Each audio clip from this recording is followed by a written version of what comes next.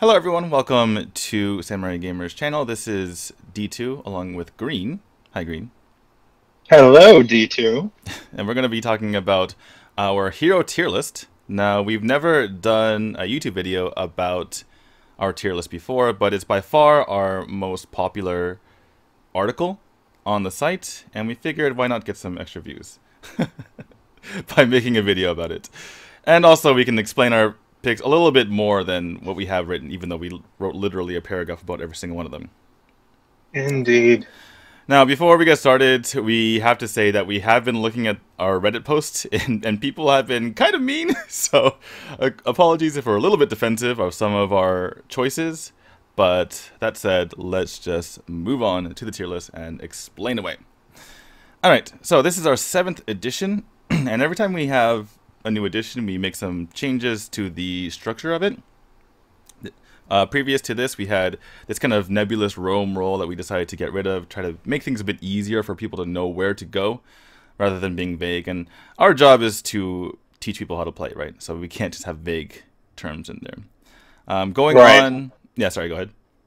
No, I was just going to say we want to be as clear as possible to help everyone, not just people who are training up to fight Vex. exactly.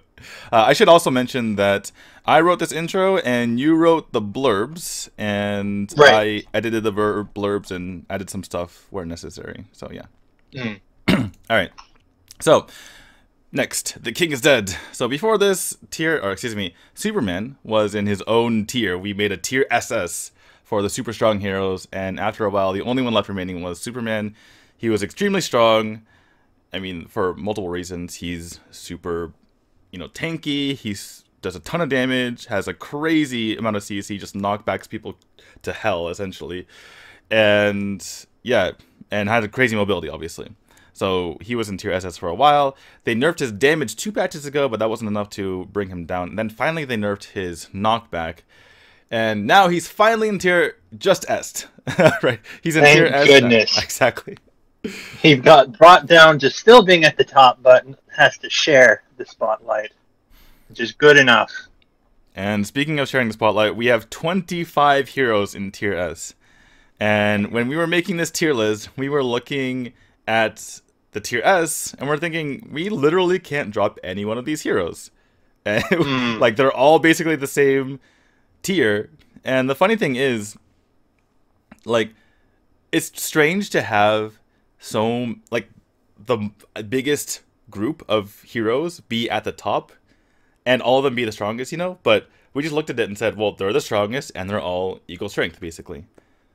Mm, pretty much.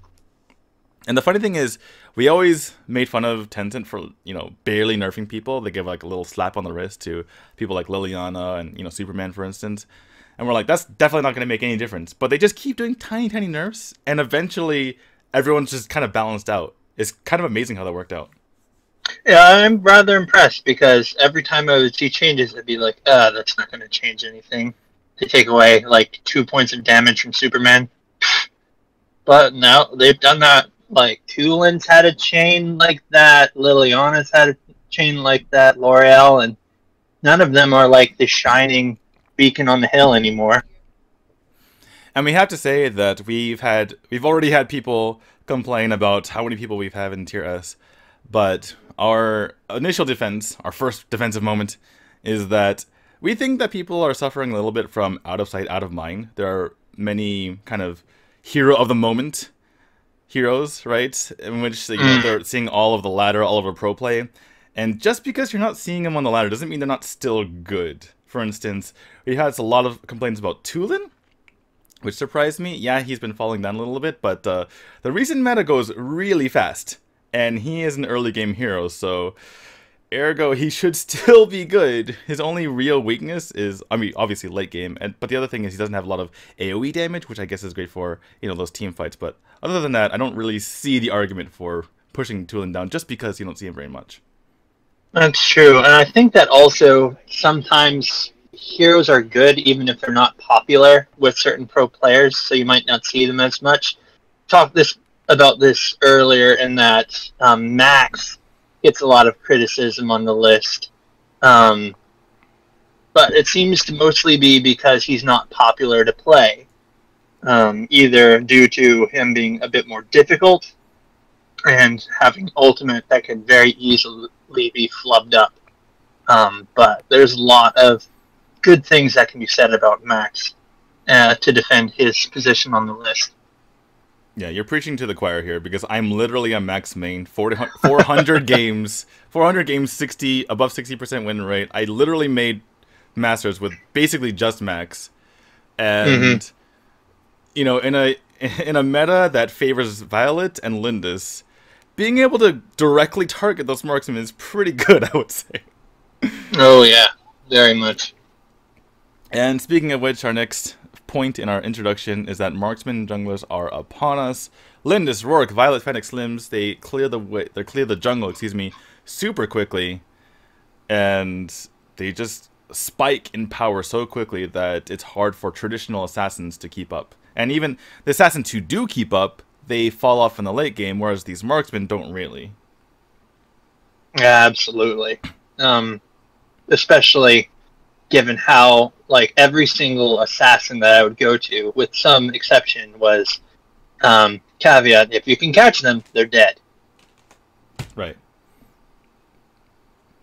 So, uh, without further ado, let's get to let's get to the symbols first. Um, part of our tier list is we like to make it simple. Now, a lot of other tier lists they separate the tier list into roles. So essentially, if a hero is decent in two roles, decent enough to be on the tier list twice, then that just makes things confusing, right? Because okay, where are they in this role? Should we be playing them in this role?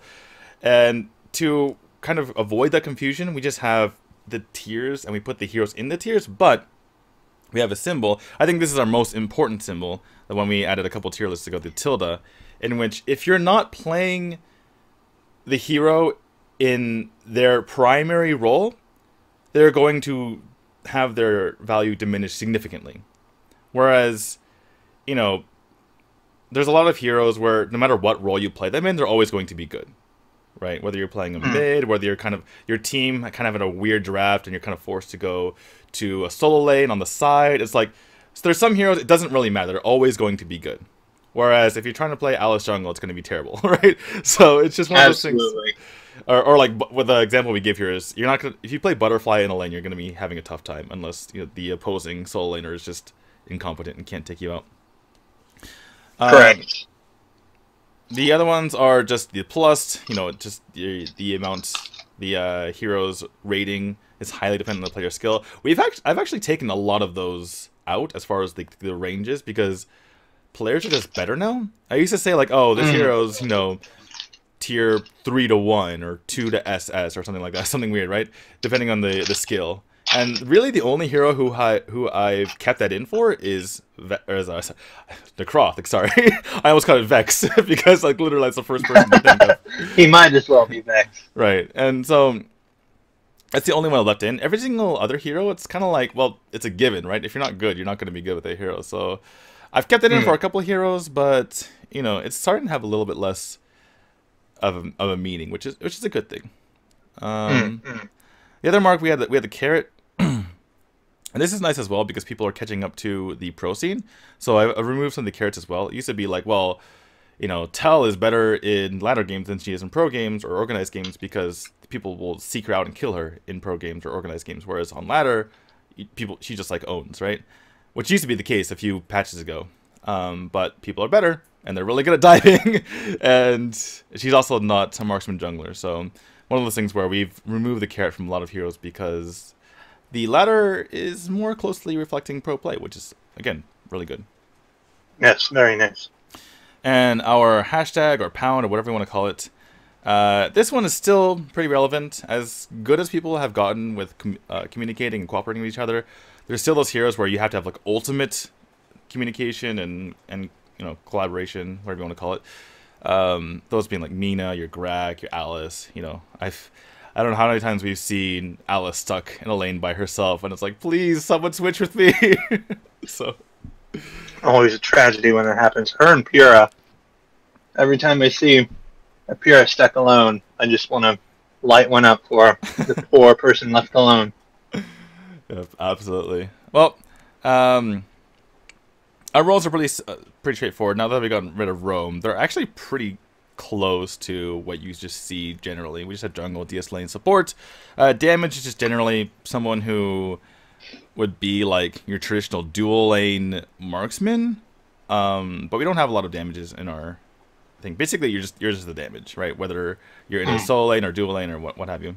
You're basically like a ranged damage dealer, whether you're a mage or marksman. And finally, we have mid, who is usually mages, with some exceptions like Joker.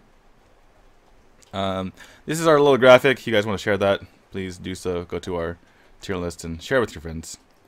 Alright, let's get started. 71 heroes. Let's go. Number one, The Flash. And I've talked for a while, so I'm going to let you take the stage. All right. So, The Flash is, in many ways, a mage Murad. However, is a bit easier to use given his ultimate is, does not have any sort of finicky mechanic to deal with. Whereas Murad has to attack four times before his is unlocked, the Flash can just use his willy nilly. His super speed always available to him. What a stunning person. now he has become one of the most frequently banned and picked mages recently, and probably one of the first people that players would think of when they think of the strongest mage in the game because he's got damage, he's got mobility. He might not have the highest health pool, but his iframes and his mobility make him really hard to catch up with to where a good flash can be absolutely devastating. Especially now that players have started to figure out how to play with him. He's relatively new coming out at the beginning of the summer, so um, he's now starting to really solidify his place in the meta. And while most other mages have been receiving quite a few nerfs, his have always come with a buff to balance it out. so, which has been. Go ahead. Gotta love the DC heroes, right? oh yeah, yeah. Anyway, um, just to clarify, iframes means invincibility frames, which means you cannot be damaged at all. So that's what you're he's Cody's referring to. Green's referring to. Uh, oh yes, sorry about that. Um, yeah. So uh, my quick two cents on Flash are that he is almost always going to be good, other than you know apart from the DC factor, because he fits in the dive comp where you can just dive someone and kill them, but he also fits in a poke comp because he just poke gets in there, damages, and just jumps out. He's basically a poke and a dive at the same time because he can get in and out, mm. which is very very useful to be able to get in and out. Oh, absolutely. So yeah. Uh, and to go with that, he's he's most commonly picked in the mid lane, but if you used him as a jungle, he's not that much less effective. Um, so he's rather versatile for being such a strong hero. So yeah, the nice that flexibility adds a lot. The nice thing, I think, I forgot when I saw that. It might have been during AWC bootcamp, but the nice thing about the Flash being able to jungle like that is if you know that your opponents have you know certain preferences, like you know they like. I think at the time the opponents liked Tulen and Flash, and mm. they just took both. They're like, okay, we could put Tulen in the side lane, or you could put Flash in the jungle, and we could still have a reasonable comp, and we robbed you of the mages that you wanted to play. Yeah. So. And that is something to think about because, especially with a limited number of bans, being able to pick um, him, even if he might not be the first or what would be the more standard thing, but still fit into your team and do well, robs your opponent of that pick. Yeah, just the flexibility is so valuable. Anyway, we promise that every single hero is not going to be that long, otherwise this is going to be eight hours.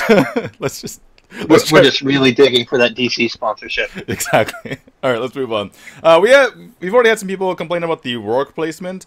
I don't think there's anything wrong with Rourke here. He does he still does the exact same thing. He just as before.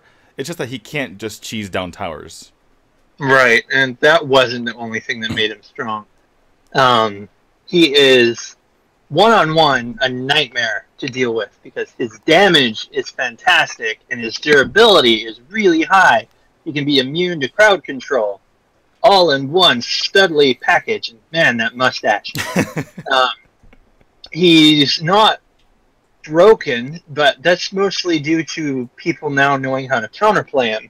he was picked so frequently due to the bug before leading to some easy victories that people were forced to learn how to play against him, which is you juke around minions or you go at him with several people, or and most importantly, if he uses his ultimate, run away and wait for it to wear off. Yep. Way weaker. Um, but that said, despite all these negatives, he shines so well in, in the places where he does do well, which is dueling. His jungle clear speed is fantastically fast. I think I can normally get through the jungle with him in about a minute twenty seconds, which is crazy. Um, that Yeah. he's just a really solid pick. And people underestimate the ability of a jungler to solo the Abyssal Dragon or the Dark Slayer because you can have your Mm. team just distracting, and when you when you can't when the only person you can't see on the map is one hero, you don't think they're taking the Abyssal or the Dark Slayer. It's like, wait, they just took it. What the hell? True. Happened? I Uh, haven't tested with the new monsters, but with the old Dark Slayer, with at six pretty- minutes when he spawned, if I had Soul Reaver, War Boots, and um, the Beast, I could easily solo the Dark Slayer and walk away with basically full health. right. So he can do a lot to the epic creatures. Yeah. Um. Anyway, uh, what I was going to say is that I think that a lot of the people who are complaining about his placement here are people who actually are capable of playing against him, and we.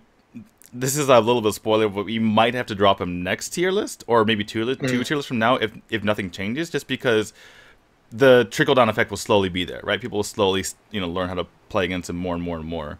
Whereas where, Mm. where you'll see like plat and gold and even silver being able to play against him. Whereas right now it's only I would say like the masters players are really capable of countering him.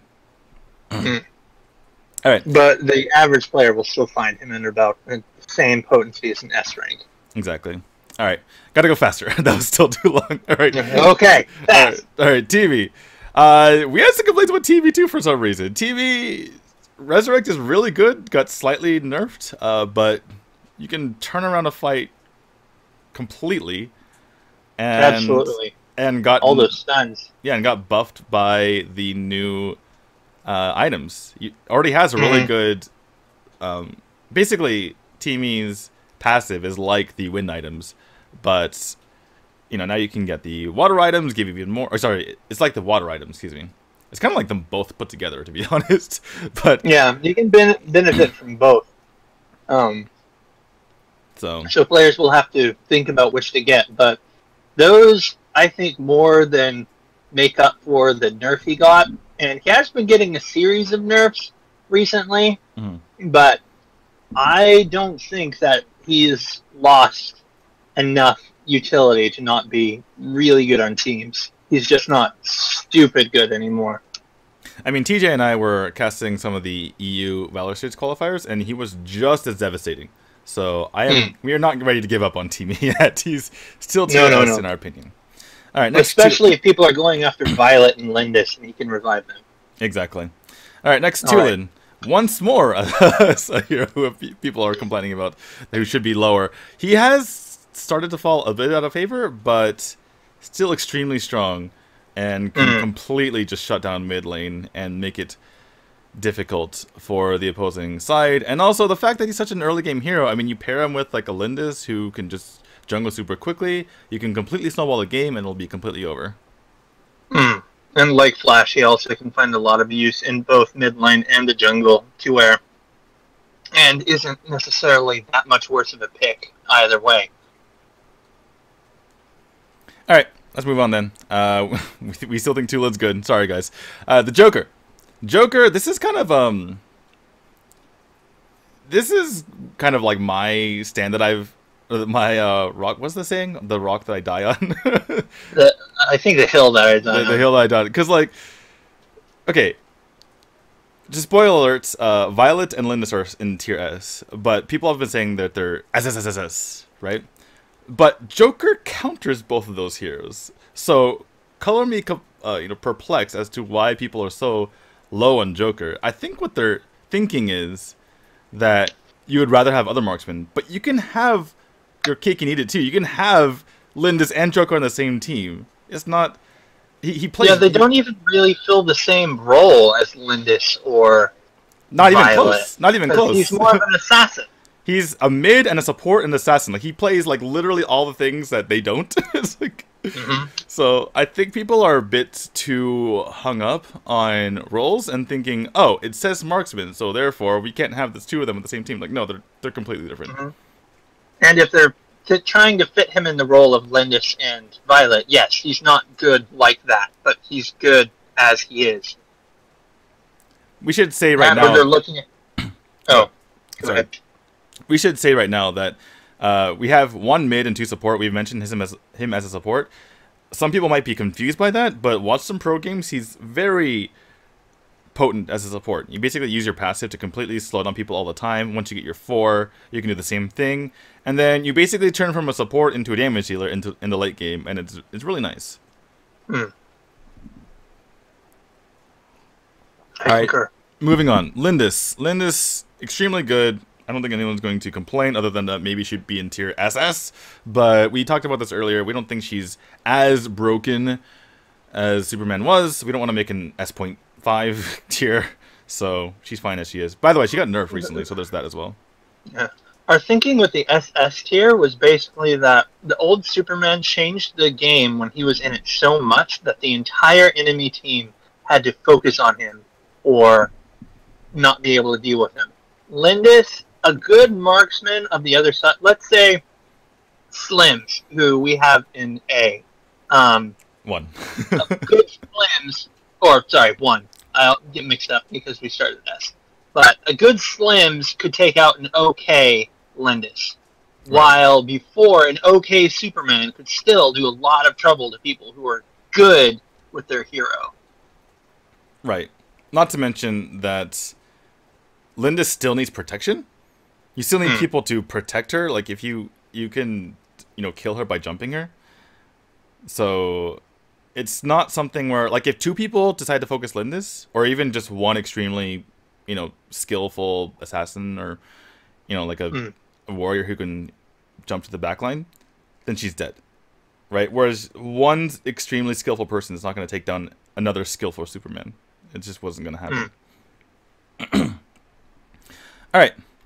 Um, next, Max. We talked about this before. Kind of perplexing that people don't like Max. It just they probably haven't seen him on ladder, so therefore they assume he's not very good.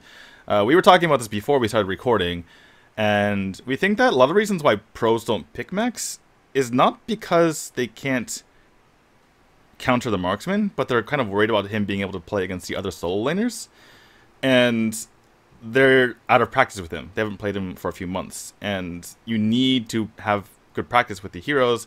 And the worst thing you can do is go into, you know, a, a televised game, a streamed game to hundreds of thousands of viewers, which you know the GCS and the RPL are, and pick a hero who you're not experienced with and who is a little bit off meta and lose, and then everyone laughs at you. So there's a little bit of fear there, and I think that a lot of non-practice goes into as well with Max. But he it can. didn't help. Go Oh, sorry. But I was going to say it didn't help that before the um, more recent tournaments, he was, for example, at the AWC finals, he was permabanned every single match. He was either um, banned or picked. So if that happens, people don't typically practice with or against that hero because they don't think that it'll come up. See, also at the AWC finals, when Superman became available, both teams that picked him lost, not having to practice playing with him. yeah, and I just want to say to everyone out there, he, you know, with Violet and Lindis being good, maybe pick a guy who can dive directly to the back line. um, I was, uh, if you aren't a max main, let me just tell you right now, way easier to kill Violet than Lindis. Uh, Lindis can just run away for forever. She's near bushes, which a lot of times she is since you're fighting in the jungle a lot. Uh, but typically you have their support and the Lindis. You're chasing them down. They're both chasing you. Now you have a 4v3 against a team with no damage dealer other than their mage. So usually you win that one. Violet, you can literally just kill her by yourself. So yeah, Mm. give him a try. All right. And who doesn't like the Incredibles? exactly. All right, Zephys. So Zephys, the only problem with Zephys, even though they gave him a buff, uh, I think we were wondering why they gave him a buff. I know I'm going on eight tangents right now, but we were wondering why mm. they hmm. gave him a buff, and we believe it's to kind of counter the marksman jungler meta right now. But he was already good, and they made him better. So I feel like people mm. should just give Zephys a try once more. He's really, really good. He can do tons. Of, he has the Superman effect from earlier, to where he can do tons of damage while building tankily. And since he's already tanky, that makes him incredibly difficult to kill. Right. And he's lost CC as well, which is nice. Yeah. CC damage tanking. Pick Zephys. And he's mobile. Alright, next, Violet. So, Violet was already extremely good before the rework. Not somewhat, well, kind of. They move stuff around. They didn't really consider it a buff, speaking of Tencent, but if you looked at the numbers, they barely took anyway any damage off of her tactical fire. Especially considering that the extra 0.5 wasn't getting multiplied during critical hits anyway. So mm. it took a slight nerf to the tactical fire and made her concussive rounds and fire in the hole extremely better. She basically went from a one skill hero to a three skill hero. Right. The thing is, we've seen a lot of comments on the Reddits and etc. say, "Oh, I just got crit for a billion damage." Like they nerfed that part. Mm-hmm. It's mm-hmm. like people think that she got that like the entire kit got buffed, and like, oh my god, look at how much damage she's doing. It's like, but you're talking about the part that got nerfed, so yeah. Mm-hmm. That said, she's extremely good. Uh, if we don't really want to put her in tier SS already after just two weeks of play in Taiwan, and just less than a week of play in other Tencent servers, so we're keeping an eye on her. If she continues to be absolutely bonkers, then we might raise her, but again, we're not going to overreact right now. Alright, Yoma. Uh, Yoma got buffed, which means he is very capable of just staying in the lane a lot longer. A lot of times when you got low, you just had to go back, right? Or mm-hmm. just try to outplay your, your opponent with like two health. Uh, now you can actually heal on the minions, which is a bigger deal than it seems. Oh, yeah, it's very helpful. I play a lot of Yoma and it's been very nice, especially since a lot of other um, Slayer Lane heroes like Lu and Roxie and Wonder Woman and Skud all have self heals. Uh, so being able to have something to regenerate in between wait uh, in between fights has been extremely helpful in letting me stay out and keep getting experience in gold. Right, not to mention that Spectral Ire is extremely low cooldown, so you can just kind of use it on the menu wave and still have it a little bit later. Oh, yeah. We should also say that we're both based in Japan, so we like to say Dioma correctly instead of like Ryoma. Mm-hmm. oh, I'm sorry, Ryo- Ryoma. All right. Next, Murad. So, Murad is a very polarizing hero. Some people think he's completely broken, some people think he's completely trash. Part of it has to do with the Murad that you face on ladder and how good that person mm. is. Part of it has to do with some people being very experienced playing against Murad and you know lo- knowing to look for the shadow and knowing to knowing exactly how his cooldown works and his ultimate and you know how many seconds. I have to tell you, it's a world of difference. I literally have played like five or six games of Murad in my life, and I knew immediately that I wasn't going to be ever good be good at him. But just those games have made it so much better to play against him because you can time out his ultimate so much better. It's like you're base as he's walking toward you, you're like two, one. Okay, you can't use ultimate anymore. I, I know. I've used him before. oh yeah, and that's a good um, rule to take with pretty much any hero you have trouble with. Play as them and see how people beat you. Um, then use that to beat them. But Murad is very much a pub stomp hero, but he can still do very well in more um, higher ranked games uh, with someone who knows what they're doing. Because, like the Flash, it can he can be really hard to deal with. His main hangup compared to the Flash is that his ultimate requires the to, the unsealing to be able to use. But as a trade-off, it has a fantastically low cooldown. It's like around 10 seconds, which is kind of crazy um, because a good Murad will be able to do that three or four times in a tier team fight. Sorry, just checking his cooldown. It's 12 seconds, and a lot of times he has Soul Reaver. which means it very yeah. a lot shorter. So yeah, it's usually like nine seconds or so when. Uh, yeah, quite quite short. Yeah, it's a lot of damage too, and the the biggest thing is not his ult, but his I mean, as far as like the cooldowns are concerned, the biggest thing are his uh, his first two abilities, which go down in a lot. Like for instance, his Thorn of Time goes from 12 seconds to 5 seconds. That means he like he can get in, get out, use his Thorn of Time again, and then have it available like once more for his ultimate. So before, if you, like, he would be very difficult for him to use his ult early game because you could catch him. Late game is he's so hard to catch. So yeah, absolutely. But that said, if you're bad at Murad, you jump in there, Violet, he, one tactical fire, you have, you know, 25% health, and then you're like, okay, gotta get out of here. so. Mm-hmm. All right, next. Arum is pretty insane. She's just so flexible because, worst case scenario, her ult is just ridiculously hard to deal with. Oh, yeah. It's in one of the only abilities I can think of that is not affected by resistance. You can't break out of it. It's just a, a first priority suppression in every way. And a lot of people don't know not to attack Arum when she is using the ability. I've died several times because people are like, she's not moving, get her! and meanwhile, she's healing off of people who are trying to attack her. Yeah, she's healing while um, the person she's held on to's health just plummets to zero. Um, but even if people knew to counterplay her that way, she would be fairly strong. Being able to take um, three people on at level one, pretty good. Right. Yeah, and I, I focus on her ult just because it's so oppressive in both situations, whether defending towers or trying to siege towers. She's one of the best siegers in the game, despite having like no actual siege ability herself because I'm mm. sitting there behind a tower, two people walk up, and I have, you know, 50% health. Normally I could just clear the wave and run away, but she starts walking toward you like, "Oh, I'm going to die if I stay here." I, goodbye yeah. goodbye tower, I guess. so so yeah, it's just it's so hard to deal with. And like we mentioned, her her lions, it's so you need you're just kind of sitting there like I can't do anything. Marksman, could you could you come here? Could you could you help me please? I I can't do I literally cannot damage her without you. So yeah. All right. She will be a bit less oppressive now that there's more marksmen in the meta. Well, you'd you you would think so, but that means that like before there was an assassin and a marksman. If you have your traditional dual lane setup, right?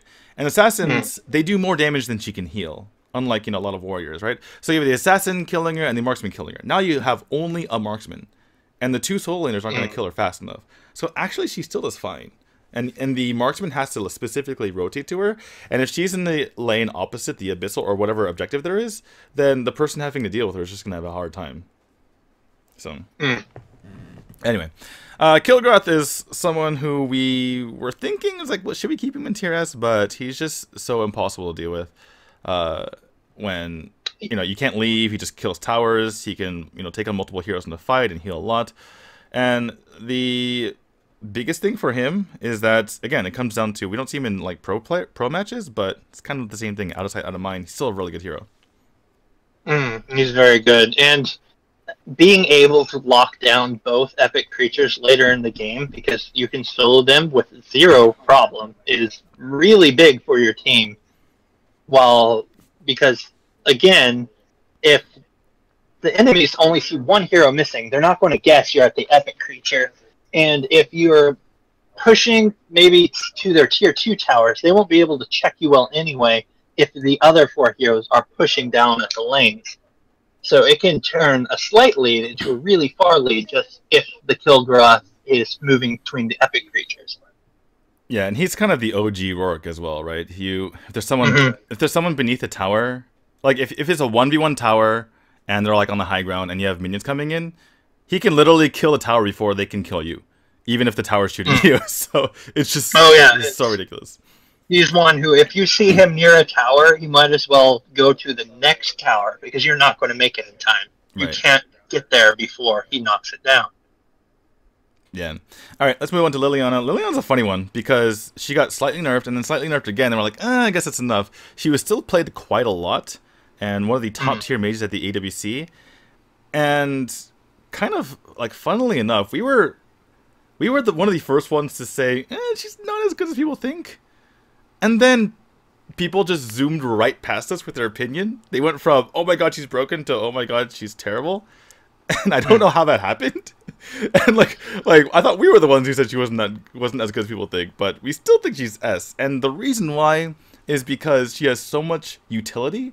She can do so much. She has seven abilities. And the difference is you can't just win with Shining Light anymore. You know, I, mm. the, I think the biggest thing with her is that you know, we, we affects the the plus to her. Maybe we should actually put, you know, she's actually really good if she if you're good with her. But mm. the thing with her is you can't just spam Shining Light and win games anymore. You have to actually use all of her kit, which means you have to use the fact that she's a mage assassin. And I think mm. that's soiled, you know, her the opinion for her for a lot of people. And kind of she has like the Raz treatment from like a few patches ago where Raz was still good, but people didn't really feel like playing Raz because there's heroes that are just as good but easier to play. I think that's the spot Liliana is in right now. She's just as good as the top tier mages. She's just harder to play because now you can't just rely on her human form to do everything for her. I think that's a big part of it. There's also probably a bit of Rourke effect is that she was so good before that a lot of people chose her. So a lot of people were forced to learn how to play against her. So now that she's more in line with a lot of other heroes, people still know how to play against her. So um, she's not picked as frequently. Yeah, it's the double effect, right? People can't people know yeah. how to play against her, and the people who have played her now have to be better with her. Hmm. All right, Wonder Woman. Uh, Wonder Woman is not really seen very much. Um, that said, no one had any complaints with her here, so pretty much people are in agreement. I would imagine. Um, she just does everything well. She's good in the Slayer lane, and when she gets in team fights, she can stun groups of people while shielding her allies. It's you know, it's that's really good. Yeah, basically just being able to be a good DS laner and then be a good team fighter at the same time is extremely valuable. And she can initiate well. eh, so right she's got a lot going on. Even if she's not like stupid broken, she's just very good in a lot of regards. Like for instance, if you look at another hero on this list on in tier S, which is Omen, he's way better at being a DS laner than he is being a team fighter, right? Like he can he can pick people off. No, absolutely. But he can't actually, you know, just set up for his team the way Wonder Woman can, unless you count setting up, you know, picking someone off and then having a five v four. That is something, mm. but it's not exactly you know five v five charge head on each other. Wonder Woman's way better at that. Absolutely. All right. And yeah. Okay, moving on. Yes. All right, Xeniel. Xeniel, he's been just up and down and up and down, let's just constantly. People, we've kept him in tier S, but you know he's been. He, sometimes he's constaband in tournaments. Sometimes it, he just get just goes through the entire draft draft process entirely for you know weeks at a time. It's kind of bizarre to me, but in the ladder, in ladder, he's just extremely good. Uh, mm-hmm. he builds he builds damage as he builds health, which is extremely powerful, and he is a, has a global ult.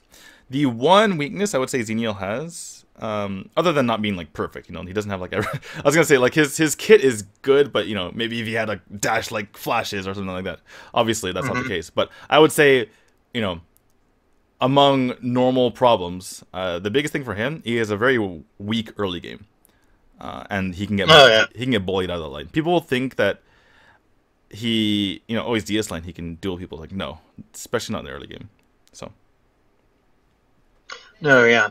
And though to kind of defend his position here, despite going up and down, he still has going for him that he can push the DS lane while being present in team fights. Because if the team fight breaks out, um, he can just ult over, and this forces the enemy to either um, always be countering him in the DS lane and risk him ulting over and having a 5v4 team fight, or ignore him in the DS lane so that they can have an even team fight, but then they are opening up their towers to get angelically smite, smitten, smited, Smit, smited, smitten. smitten. They will fall in love with Xeniel, much like I have.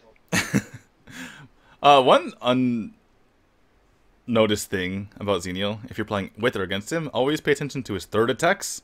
I think his passive is called Holy Brand. It literally does thousands more damage, so pay Mm. pay attention to it, because that makes a big deal when taking like uh, objectives or trying to finish someone off.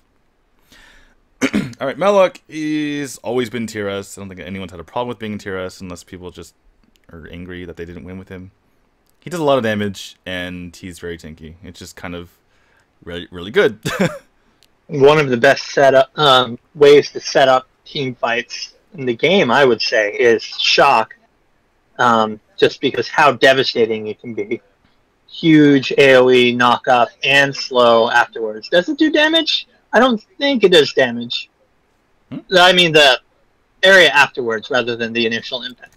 uh, we can look that up. Um, It slows. But even if you miss, you're basically denying that area to the enemy and gives them much harder time fighting. Um, so, really, the only problem I think he has is he's very slow. Right. And he overcomes that slowness by having 400 attack range, which is double the range of most heroes, and his cleave is massive. So Yeah, people, it's it's hard to run away. Even heroes who have a very good range and or mobility, if you mess up once, you just get caught in his cleave, and then all of, all of a sudden he has lots of life steal, and you're feeling sad. So. Mhm. Oh yeah, not very fun time.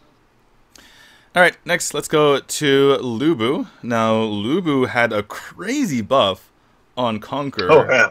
Went from 20% resistance, which by the way, if you don't know, is resistance to crowd control or like slow stuns, all that kind of stuff. So if you have 20%, say there's a one second stun, it goes to 0.8 seconds, right?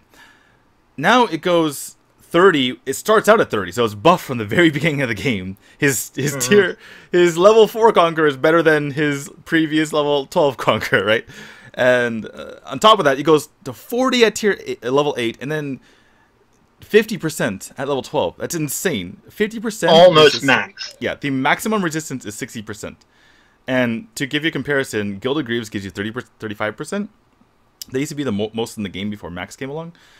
But it's absolutely insane. He could just not buy Gilded Greaves and have more resistance with Conqueror than any other heroes are capable of, even with boots. So it's Yeah, especially in such a CC focused meta recently.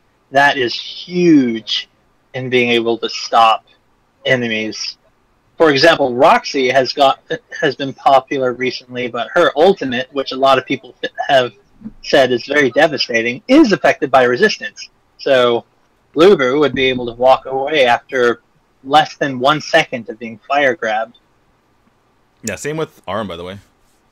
Same with Arum, same Oh, with yeah. Omen. Every single thing that's, you know, stops you is reduced by that, which is crazy. So yeah.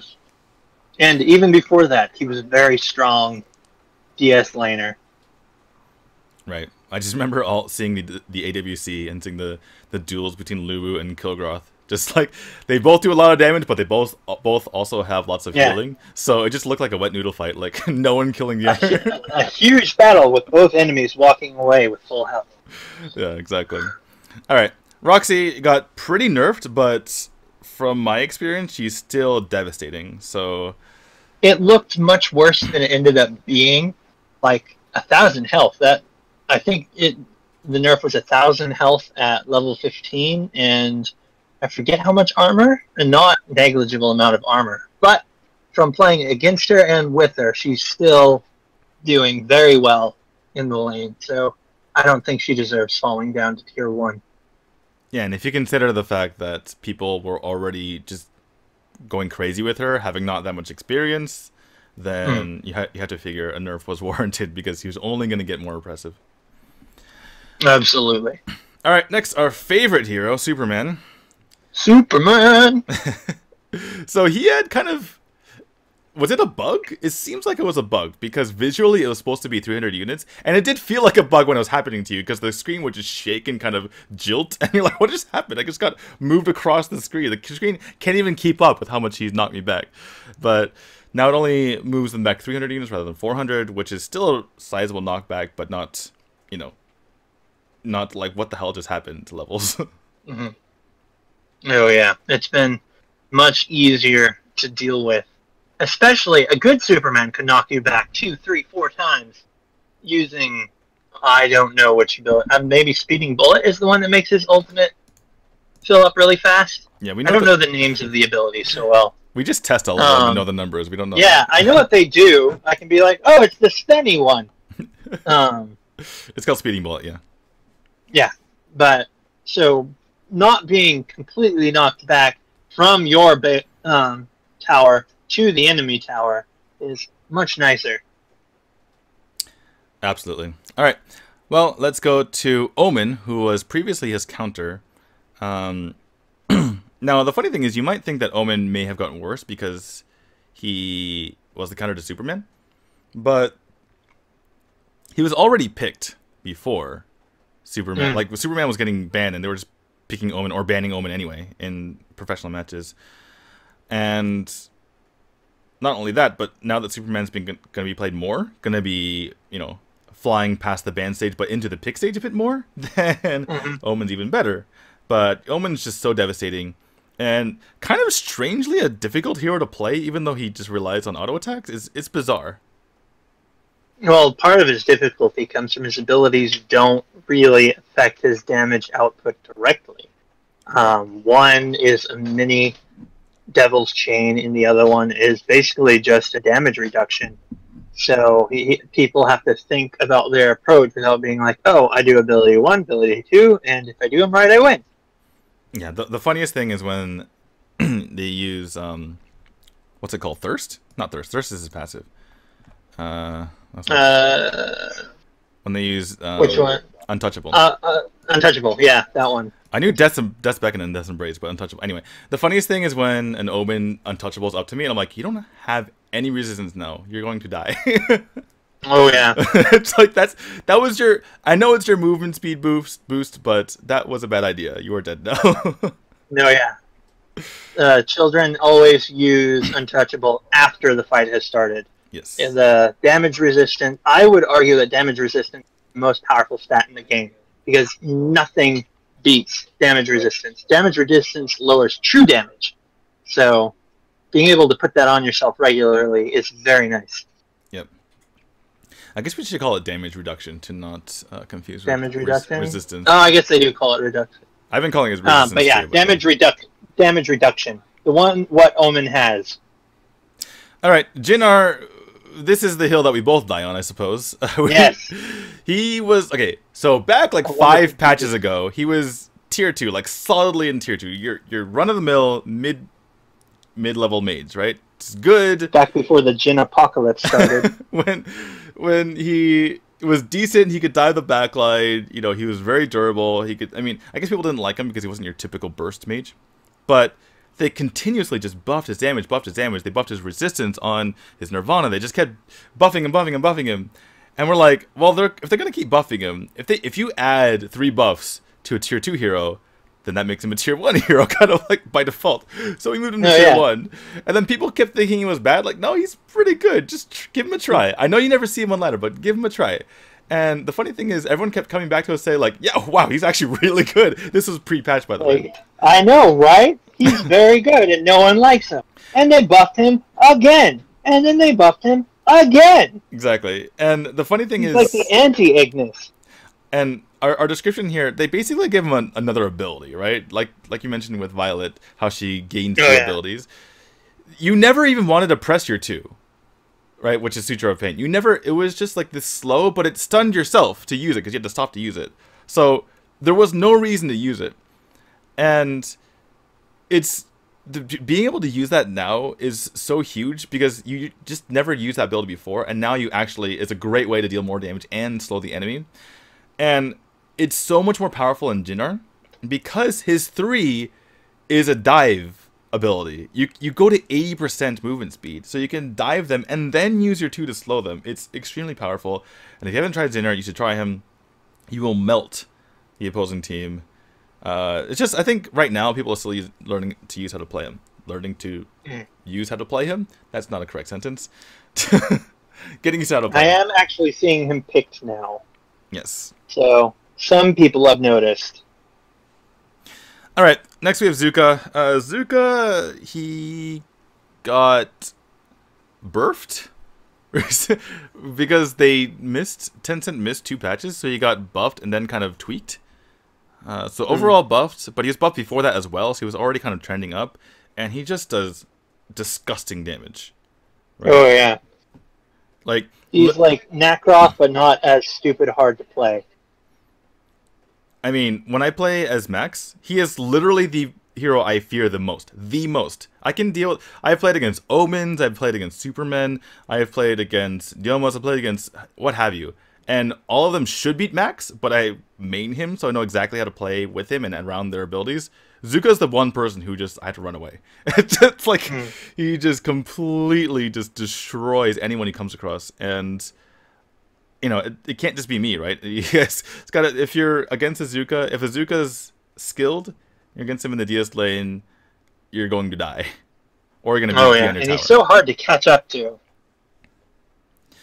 Yeah. All right. Well, anything else to say about Zuka? He's just really good. No, he's really good. Kind of fragile though, so you, you got to be good to play him. Hit him with CC and he's done. But it can be hard since Well- very few heroes um, have guaranteed CC. You kind of have to chain CC because if you hit him with one CC and don't completely kill him, he'll run away with like one health because he has a Hmm. billion dashes in a row. But yeah, Yeah, every he's like I believe every single one of his abilities is a movement ability, well, his one, his and one he can use twice. Right, exactly. All right. Raz Raz is funny because the only reason we moved him down in the first place is because he was hard to use. And Mm. at the time, Tulen, Lauriel, uh, well, we- Lauriel, we, we moved Liliana. Liliana Flash were as powerful, but easier to use. So there's no one really, there was no reason to play Raz. But ever since Memarks completely just owned Fools at the AWC, people have been picking him a lot more, especially in pro tournaments. And yeah, turns out he's really good. And they fixed what I didn't even realize a bug he had Yeah. on his Right. energy surge, the Hadoken. His fire. Um, yeah. Yeah, yeah, yeah. To where it takes away some en- enemy magic resist. So he got soft and buffed in amongst that. Right. He used to he used to act just like Rourke, except that you typically didn't have more magic damage on your team, so it made no sense for your own fireballs to not work, for your own uh, Mm. abilities to not work with the magic resistance, right, or the magic defense Right. reduction. Um, so they fixed that, so now he does more damage that way. He, they also buffed his auto attacks. You used to have to auto attack three twice in order to have a third auto attack that's kind of Oh, like a, oh, yeah. a pushback and magic damage. So now his first auto attack is like an extra ability, right? So he can he pushes back and does magic damage, which is with his first attack. So that's extremely strong. And now you can basically triple pushback because you can auto attack, use your one and your three. It's pretty insane. Absolutely. And he's fun to play, which helps. Fun to play if you're good at him. I just kind of sit back and fireball people because I'm like I don't know what I'm doing. All right, Skud. Skud. Uh, we always had him pretty high. Honestly, we always had him like tier two, and no one never never used him. Um, I think it's After time- we noticed it, it took us a while too. no, no, but we but we were always saying he was decent. You know, back like We said he was good with a team.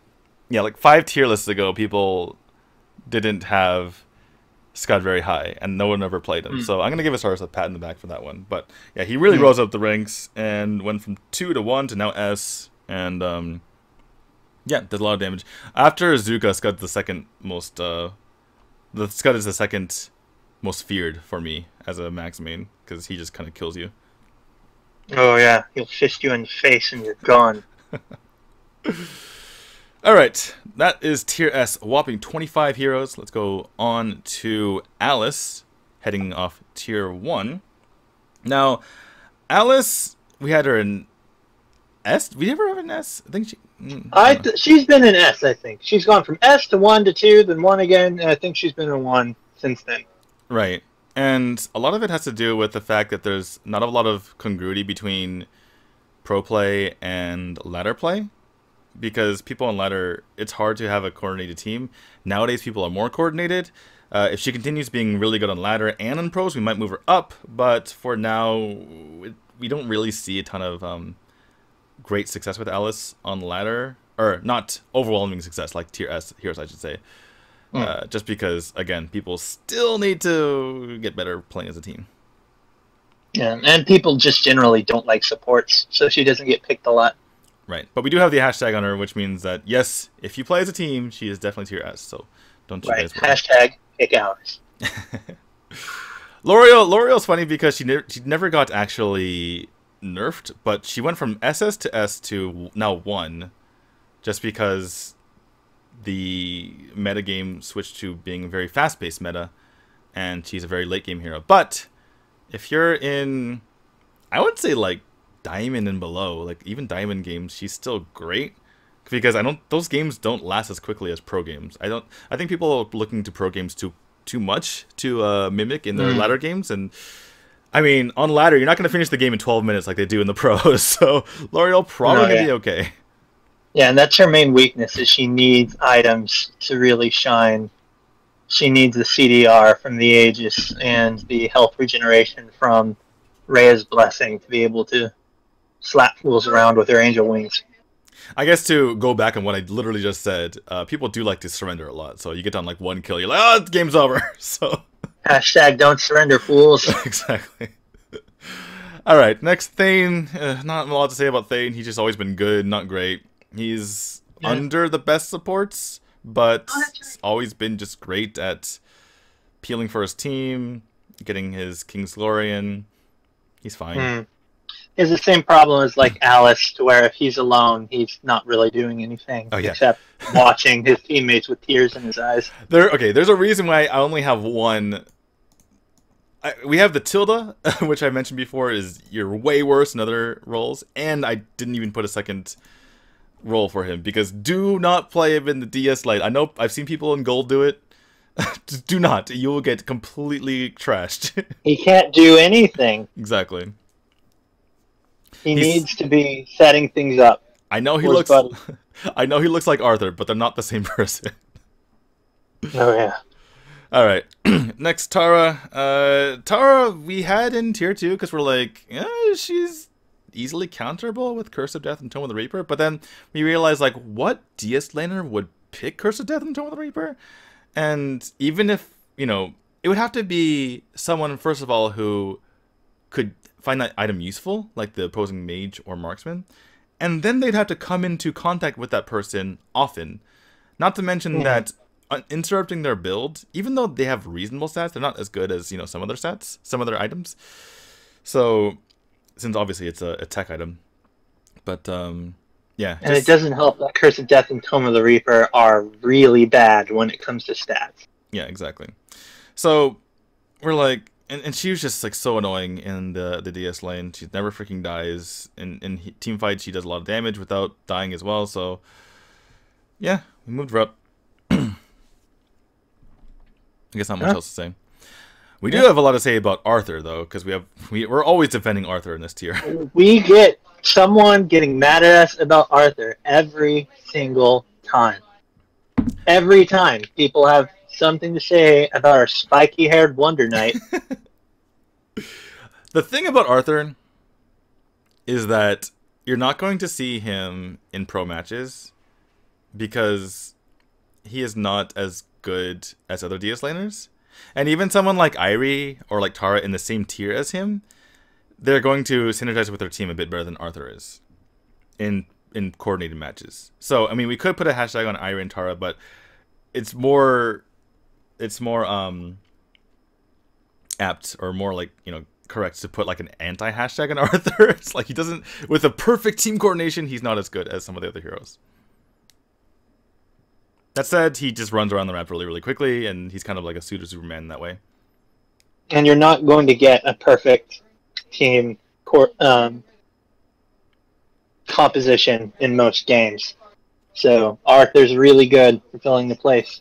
Yeah. He's tanky. He can do damage. He's mobile. He, he likes to scream about his order. For the new dawn, is what Arthur says when they get the DS, when they get the dark side. And in at least half of his skins, he's a spooky skeleton. What's not to love? Oh, that's great. I, I just love when he's just like for honor or like just like normal voice lines, and then he just goes full just angry and just for the new dawn. It's like Arthur, calm down, man. It's okay. I will slay you and the man controlling that. All right, next Airi. Uh, Airi, uh, we've always had her in tier one. She's just kind of been stuck there for forever because she's never been particularly great or bad, but she's been seeing a lot more play in pro matches as people have caught Mm. on to her.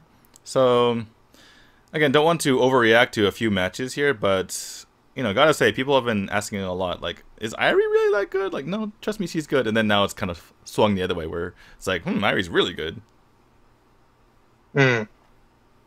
I've been playing with her a bit more recently, and she is quite good. She has her problems, but I still would say that people like Lu Bu or, um, let's say Kil'Groth, while not that might not be the best comparison, but this is what I'm going to use. Um, while they might not necessarily have a higher like potential than Airi, they are much easier to get there than Airi is, and don't require quite as much upkeep.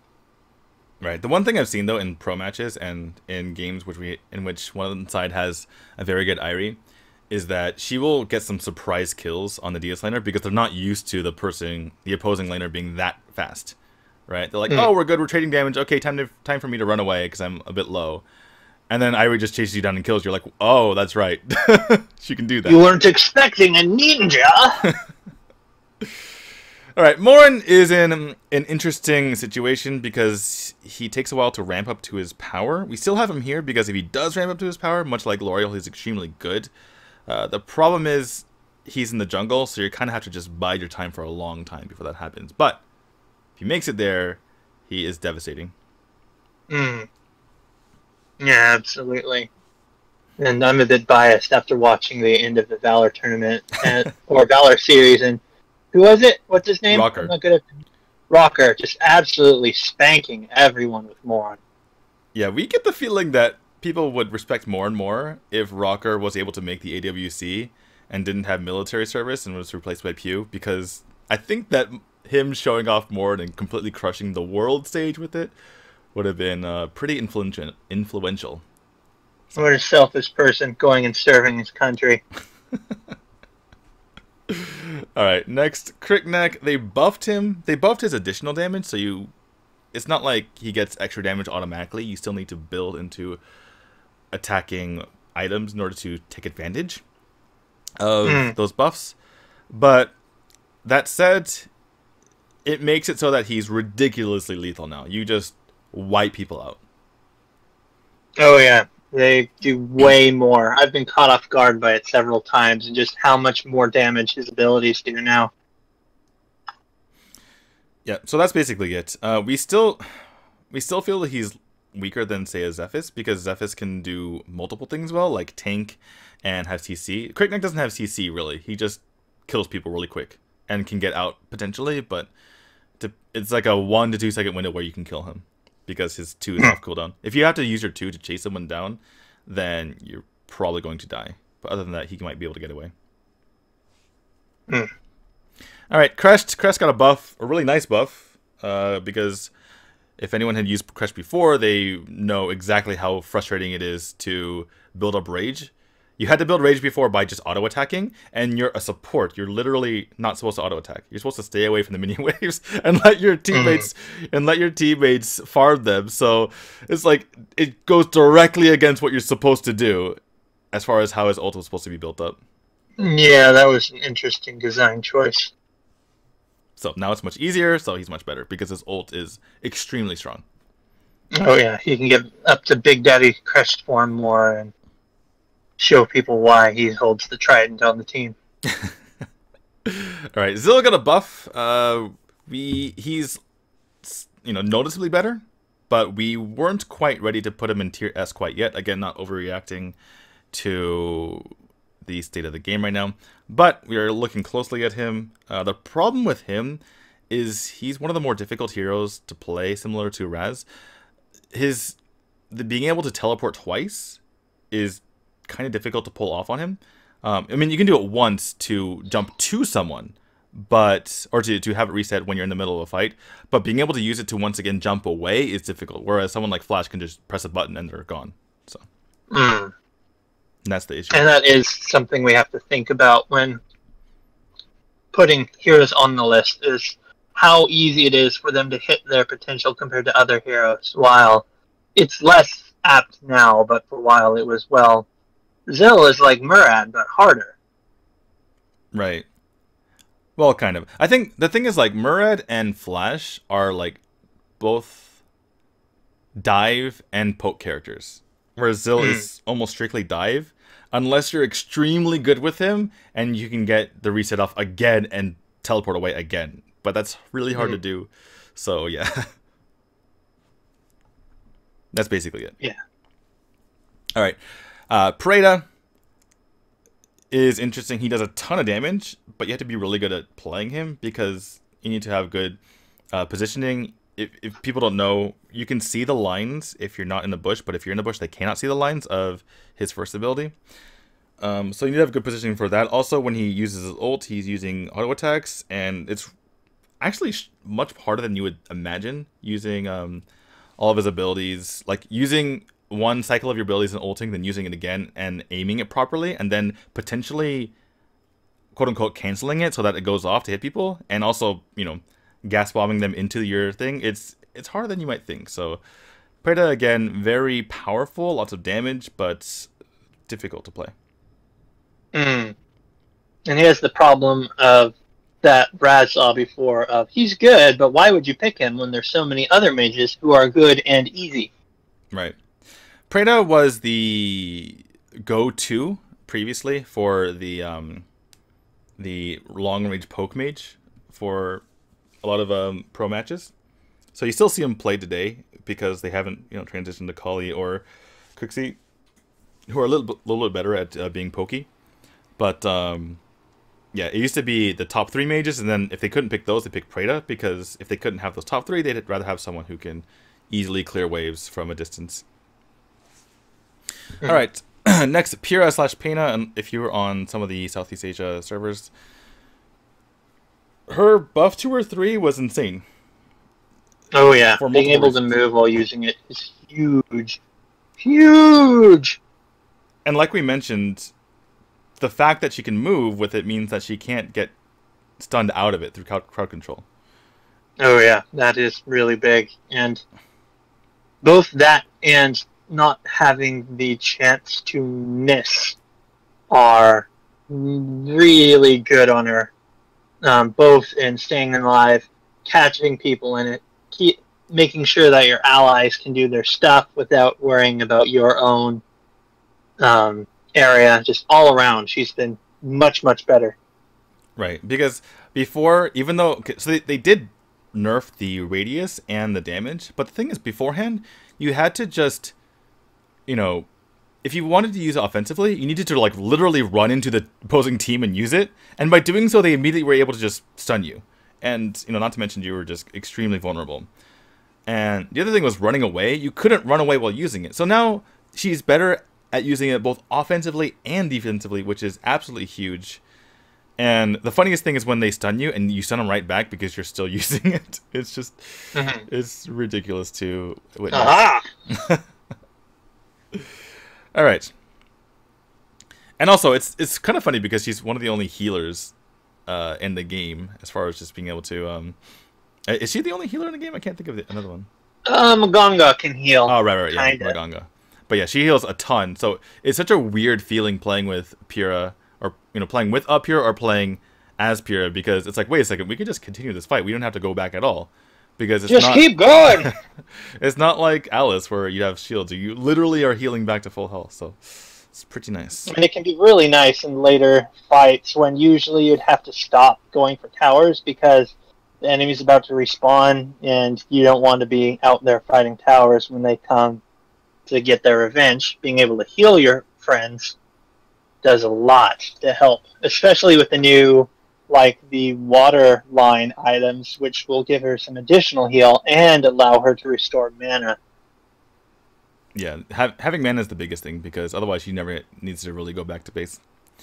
Mm. Okay, Chaugnar, he is been in favor lately. the funniest thing is Team Korea, world champions, they played him in the DS lane, which is very bizarre, but it made sense if you think about it because Sun, their DS laner, was extremely aggressive and mm. he would get caught out a lot. And then Chaugnar just never dies if you if you play him if you hold his ult you cannot kill him because you can't CC him ever so you can't it's really hard to kill him because he's tanky enough that you need to you know you need to hold him down in order to kill him which is true for most tanks so mm. you know, it's kind of funny to see that but he's been he's always been like up and down you know kind of uh, fluctuating between tier S and one and then you know other people's minds as well being like top top tier or just top tier. Recently, he's been back up to top top tier, but uh, again, we don't really want to overreact, especially if you guys on ladder. It doesn't have quite the same effectiveness. Mm. All right. Yeah. Moving on then, I guess. yeah. Sorry. Okay. You you covered pretty much everything. Okay. Uh, Grakk. So Grakk we moved up just because it's hard to ignore how popular he is in the pro scene, particularly Thailand. They still love him, even though he isn't. He fell off a little bit in the other regions. I don't think I see Taiwan using him anymore. But um, yeah, you if you play him every single game like they apparently do on the Thailand server, he's really good. Yeah, if you get good with those hooks, he can be a nightmare.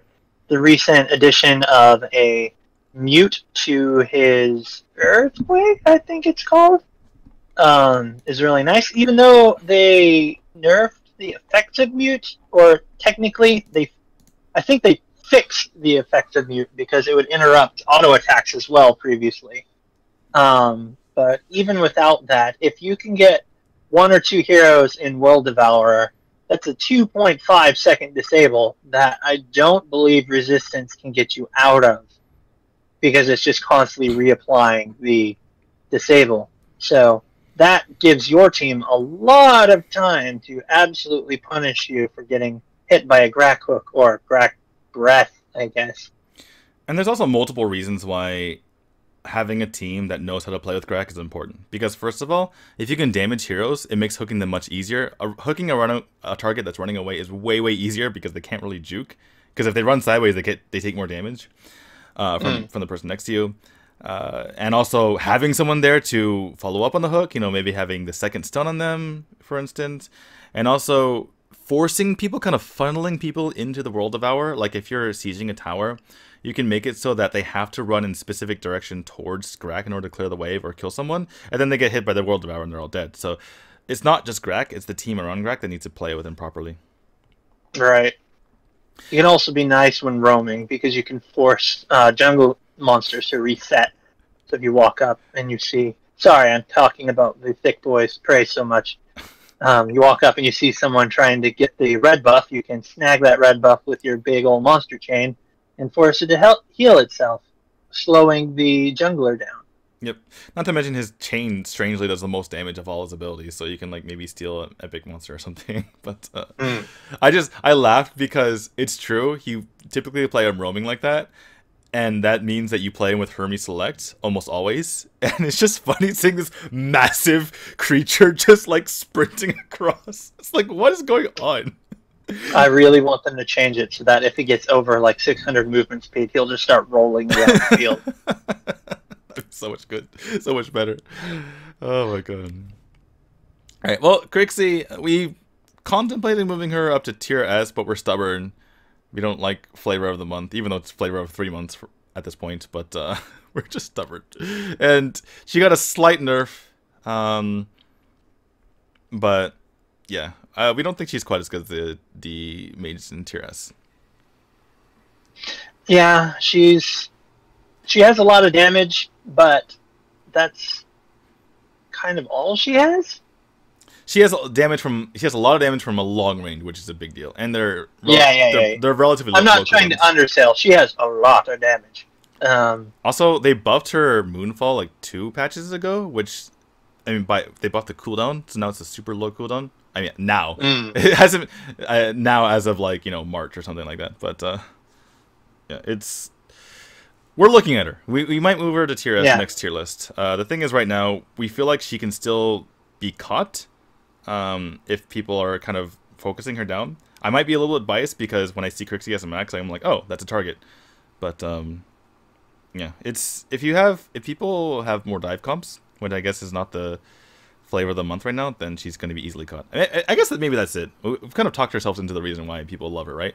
Is because it's all Mhm. it's all poke comps, it's all protect the ADC, and in that sort of comp, you can't really catch Krixi, and she just she's the second protection target on your team. right, right. And she's definitely good at poking.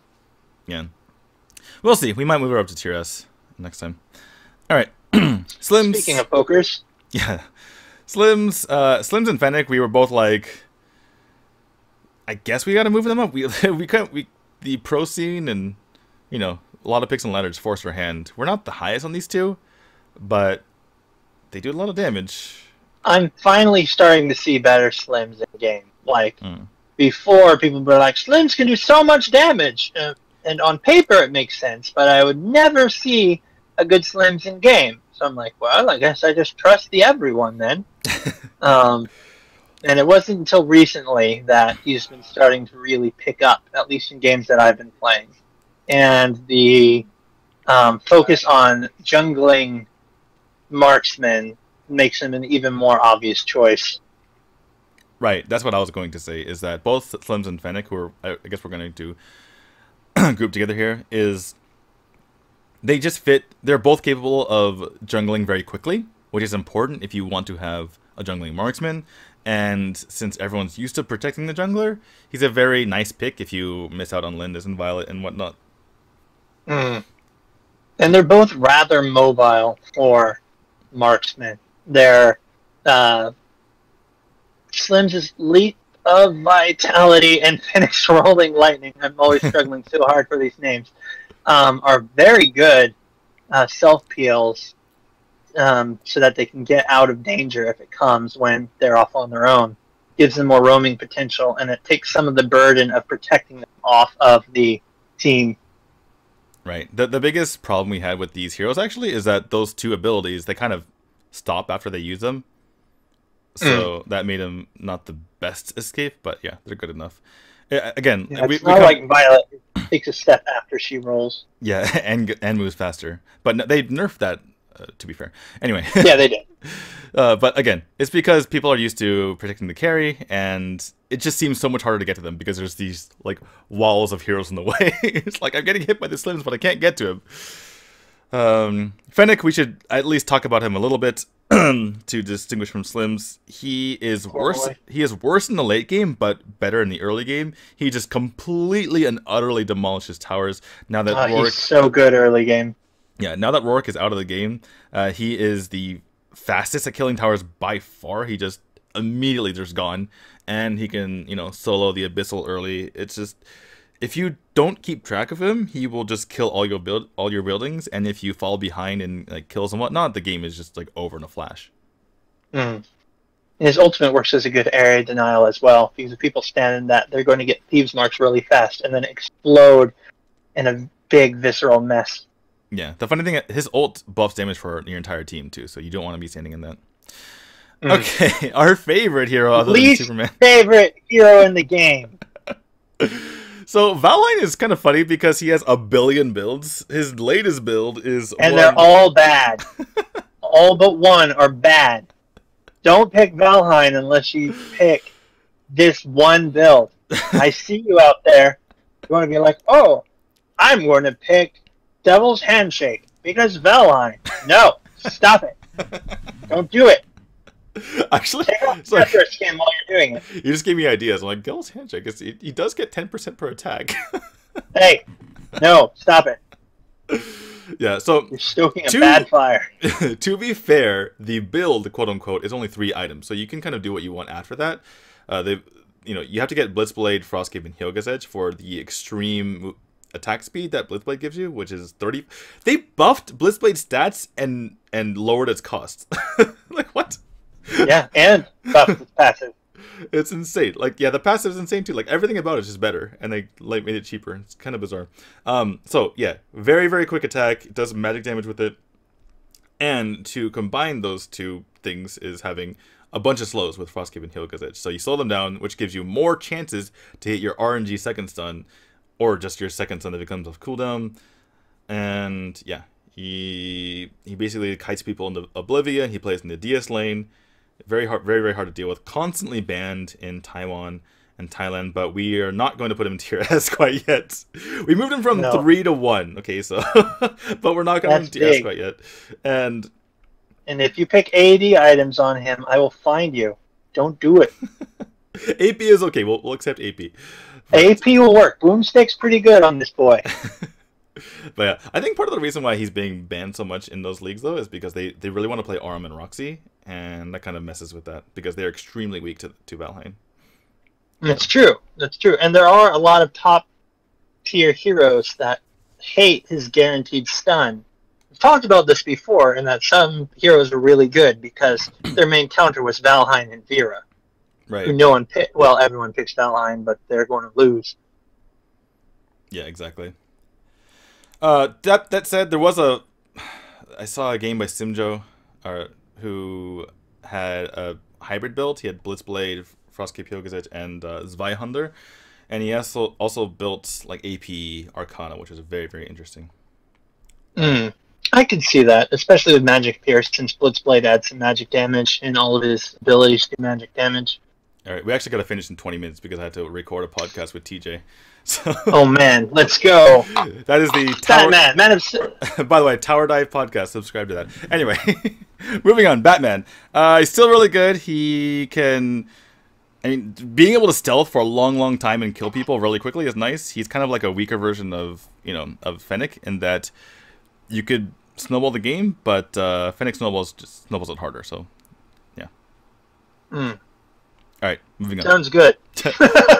Marja, Marja, she's being banned, and okay, we moved her from three to two, which technically puts her in competitive viability. But she's being banned and picked in. First of all, like in Thailand a lot, but a little bit in Taiwan as well, particularly because Team SMG likes her. Uh, we again, we're not going to overreact, and we're not ready to put her in tier S all of a sudden. But uh, part of the reason why she's so much better is not just because you know having a lot of damage on her three is a really big deal, but also because Berith's Ag- agony helped her the most out of any hero. Uh, she does a lot of you know slow burn damage, and that just helps her even more having Berith's agony. Mm. Uh, yes, and she has. I've played against her, and she's much better. I think part of what makes her seem stronger now is no one played her before, so now that people can play her, no one knows how to play against her. Exactly. Um, so people who know her and struggled through her in the weenie days, as I call them, of Marge's life, lifetime, uh, are able to have a lot of success when she feels like a new hero to everyone who ignored her before. Yeah, the, the bigger thing as well is that she is in a solo lane now. They don't play her in mid anymore. They play her in, in the uh, DS lane. And that means she just has to go one on one versus the other hero. And if she wins that, she's a good mm. hero. So there's not a lot less comp- complexity, not less need to be the main damage dealer on the team if you're on the team if you're on that side lane. Yeah. All right. All right. Next, Arduin, we moved him up after you know community pressure. Although you you were always an advocate of moving him up, I was kind of the one being like, no, he's bad. yeah. I like especially after his passive got changed. I thought that he is much better. Um, I've seen several people do well with him. Uh, I haven't used him much myself, but I I think he's about the same as Astrid right now, except while Astrid does more damage, Arduin does more control. Um, his rend mm. can stun large uh, people. Well, I'm. no, no, no, no. His abilities are all really short, so I can't remember which word. I can't be like, oh, that's the really. Let's pick a card, any card, because I had to yeah. write that five million times. Yeah. Um. Rend can stun lots of people and is a relatively short cooldown. And his ultimate both lets him move a bit, which is something he suffered from, and stuns people as well. And so he can be a big help in team fights, even if he's not the best on his own. My biggest issue with him was that if you learn how to play against him, he's a lot worse. So once he uses Undying Protector, which, which is his shield, he does true damage and it reduces the cooldown on his ultimate. Just run away when he does that. Just don't even deal with him. and not to mention he has this freaking shield, so don't even attack him. And then also, when he gets below 50%, his passive goes off, so just, which is uh, Bloodlust. Do not deal with him then either, and you're good. You're Gucci.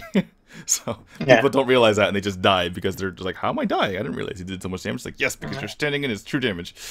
All right, moving on. That's why he's here too. exactly, Diaochan.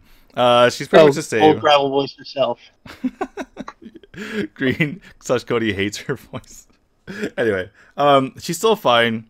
She's like having a second, you know, freeze is amazing, but you can't always hit people with it, especially because you. I mean, there's a fair number of Diaochans in the letter, enough so that people have figured out how she plays. Their, you know, the combos. Mm. Like, oh, I need to stay away enough so that she can't one into two me. If she ones me, I can maybe juke the opposite way to where she thinks I might go for to hit the two. And yeah, and the problem is like, as long as you dodge her those attacks, she's dead because she's not mobile. Mm. That said, she still is capable. A good player will be able to land her abilities, and she can c- contribute to team fights. She's at least better than earlier in the year. That um, if you saw her, you'd be like, "Oh Christ, this game isn't going to go too well. It's like, oh, well, at least I'm not playing her. All right. Well, next up is Kahlii, who we've considered moving to tier one because she is occasionally played, but she's uh, in, in pro leagues, I should say. But part of it that part of that's because she's very, you know, specific in her role. She's very pokey, so you need to have a team built around her. Um, and she's very good at what she does. She clears waves extremely quickly. Uh, she got a, uh, an indirect nerf because she used to be able to just clear mini waves and defend for forever at the base, but now there's a Drake that just kills your towers, so that's not as, as viable as before. Um, mm. The biggest problem with her is that her ult it can be very very powerful if they're not paying attention, but if they are, you just dodge it and it does nothing. Yeah, and it's not the hardest to dodge, really.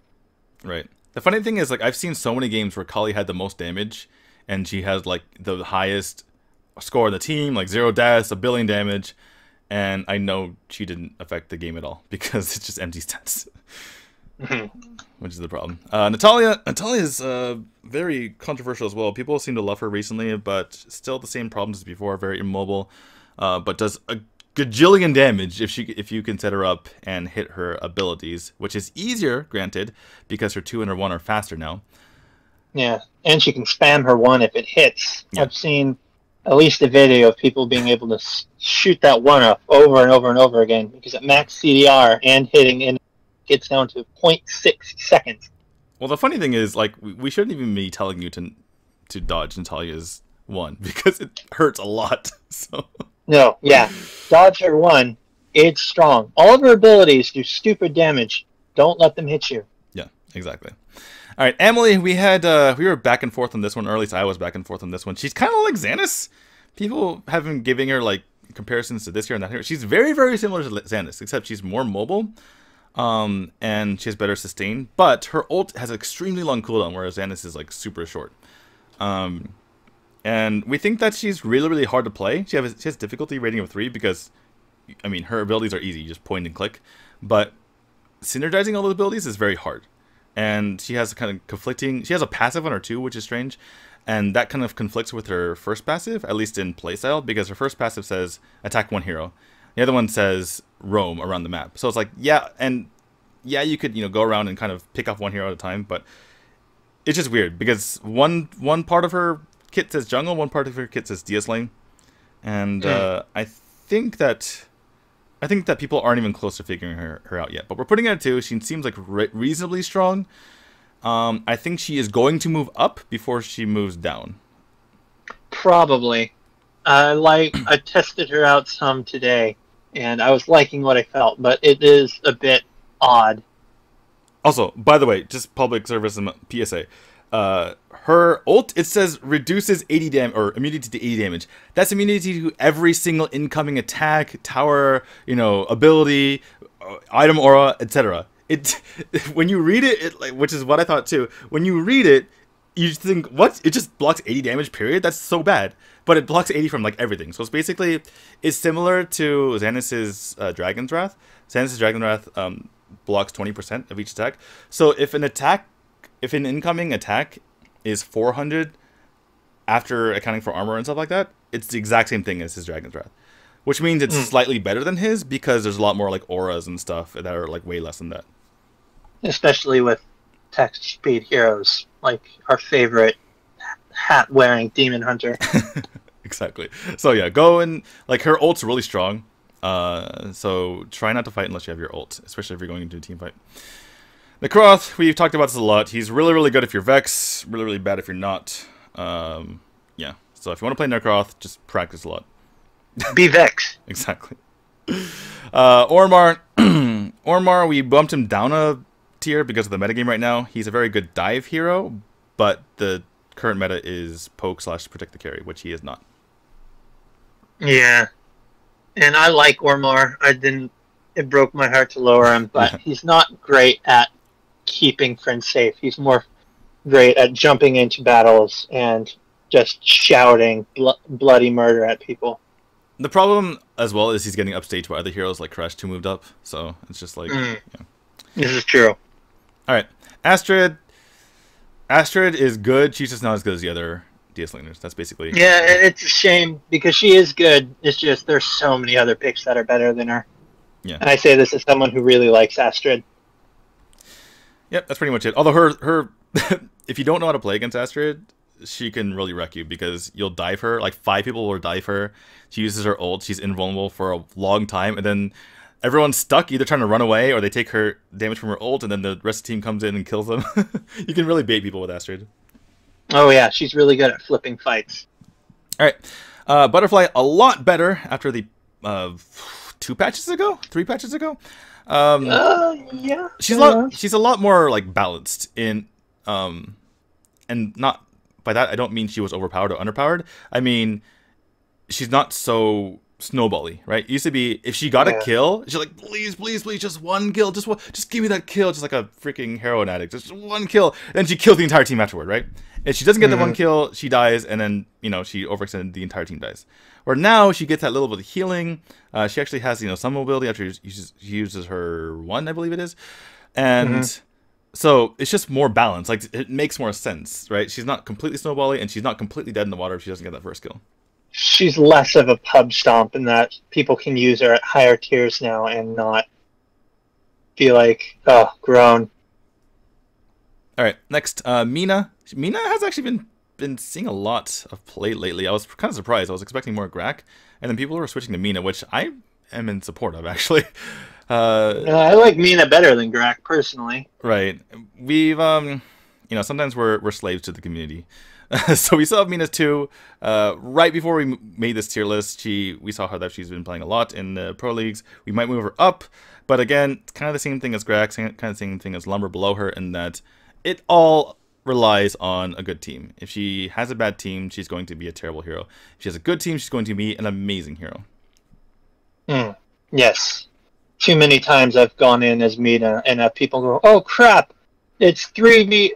He's going in three v one, even though there are two of them, and if they join me, it'd be three v three. But whatever, um, and run away, and then Mina's dead, and everyone's sad, especially me. Yeah, her pull is extremely strong, as so as well as Dark Dominion. So mm. anyway, uh, moving on. Lumburr, Lumburr, kind of hard to use. Uh, it says so in his description. The problem is his uh, charge, which both stuns and gives shield, so it's kind of hard when to which situation to use it in, how to use it. Um, mm. And also, you always need to be near someone. So again, he is hashtag support hashtag. You need to be with your freaking Lumburr because otherwise you don't get your passive. His passive literally depends on being near people. so mm-hmm. yeah, Good. I always feel like his stats are rather low or well, that's the point because his passive his passive boosts both his magic defense and his armor, so they're good once you get near someone. But yeah, otherwise mm. he's very vulnerable. Do not leave him alone in the lane like you do with Alice and Peura. they will all be sad. Okay, Wisp and Yorn, we were debating. I thought I sh- we should. I thought that uh, we should move them down. You said they're fine here. They do a lot of damage, and they have. They both are capable of AoE critting, which is really good. Mm. But they're also not marksman junglers, which means that the meta has kind of passed them by. And also, they're very immobile. Wisp does have a dash, but she needs her dash to do the damage in the first place. That's true. I think that their damage makes up for their immobility enough that if the team is playing in the current protect the carry mindset, both can do fairly well, um, especially now that people are thinking about protecting them. Uh, Yorn, I think, has one of the highest DPS potentials in the game, um, at least consistently, rather than um, bursting. Uh, I know less about Wisp, but especially recently, I've seen more people playing her and doing rather well, actually. Even if her abilities are a bit wonky, like her dash is tied to her damage, so you're stuck having to either use it to engage to do damage or save it as an escape. And her two has her barrel bomb is so hard to line up if you're not used to it. All right, sorry about that. Uh, I had to message TJ, and I, didn't, I want to do this video one take, so I didn't want to didn't want to edit this. Sorry for people who are watching this, but uh, we're we're one take, guys. Anyway, are we moving on? Yes. All right. Uh, Wukong, Wukong, um, he's a pub sub, you like to say. Mm-hmm. He kills people at low ranks because he does a lot of damage. Well, it's based on RNG. He's really reliant on getting crits. And if he does, he kills people very quickly. If he doesn't, he's kind of screwed.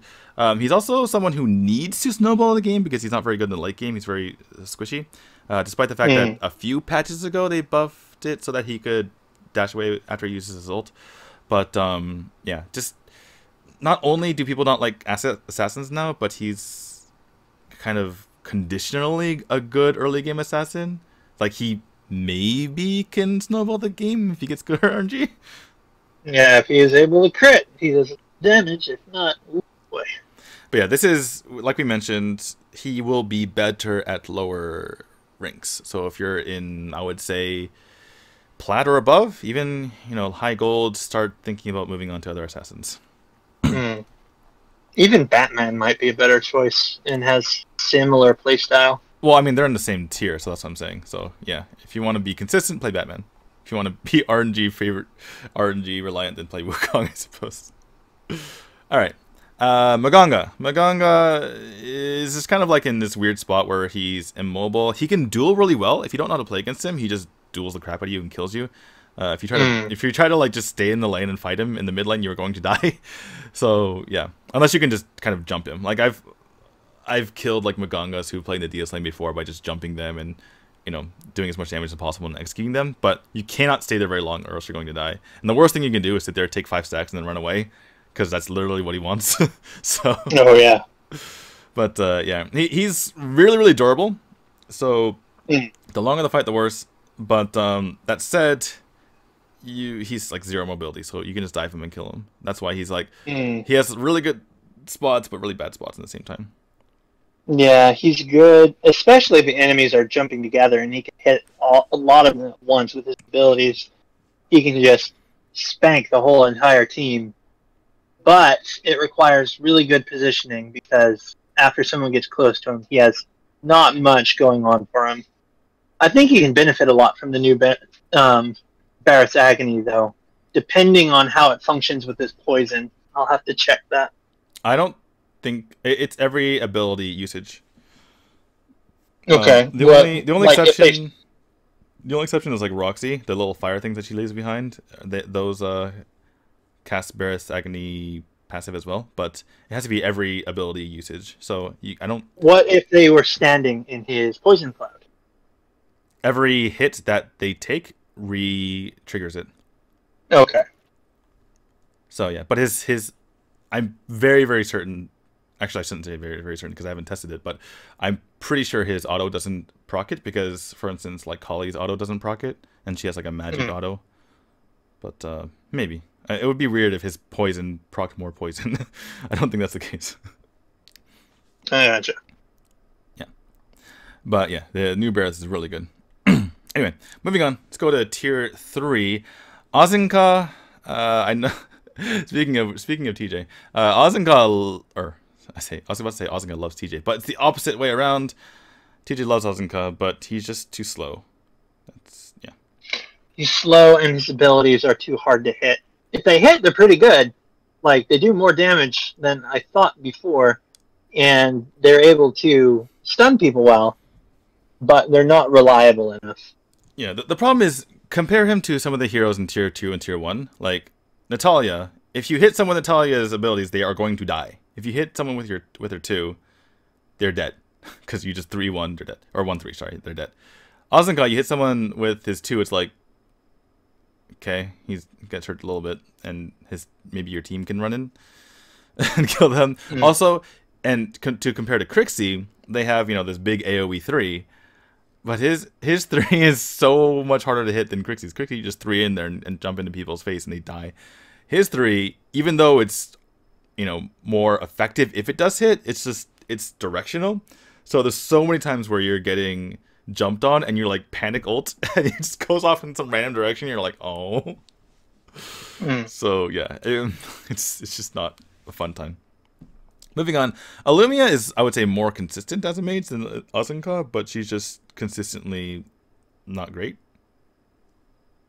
I've been seeing more people use her. It's still too easy to dodge her abilities, and she's so slow. She's so slow.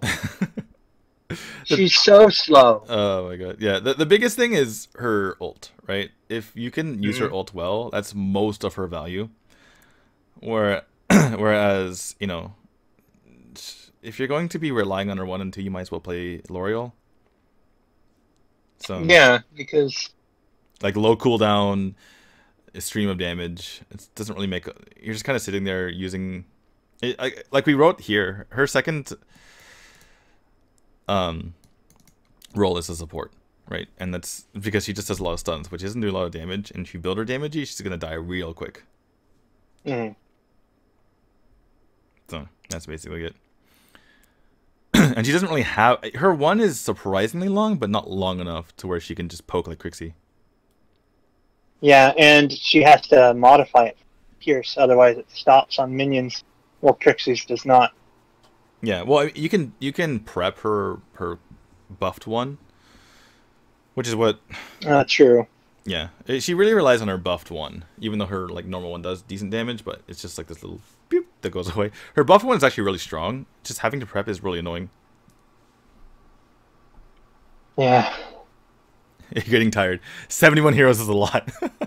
okay, Zanis.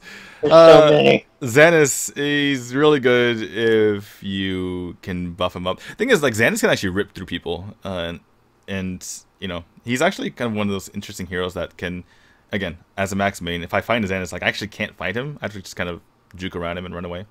Um, yeah, you've said for a while that you think that people are going to discover Zanis. It's going to take off. Um. Okay. The biggest problem with Zanis is he doesn't have. He can't go through walls. That is literally the biggest problem with Zanis. Hmm. Because other, he just can't do anything. Um. I mean, yeah, there's other heroes who can't go through walls like Rourke, but they have an ult that makes him like extremely durable and kill people immediately. Whereas Zanis, he takes a few more hits to kill people, and his ult only gives him 20% damage resistance. So he's not like, in, like, unkillable in that state. Mm. Plus, uh, he clears very slowly. This is true. So he's like, if he could, okay, if if Zanis could clear as fast as Rourke, he would be, I dare I dare say he'd be like tier one or S. Hmm. It's just that, I could yeah. probably agree there, but yeah, he it takes him a long time to get there. My biggest problem is how dependent he is on snowballing to where if the player isn't actively getting kills and assists, they're going to lose. Yeah. But if you are against Zanis, do not feed him. You are going to lose the game if you do. Oh yeah. okay. Uh, Baldum, we moved down. Uh, we initially put him in tier two, and at the time people were angry at that, but I think people just stopped caring every, anymore because like I think people when they see a new hero, they play him a lot and it's fun to play them and they get some wins here and there.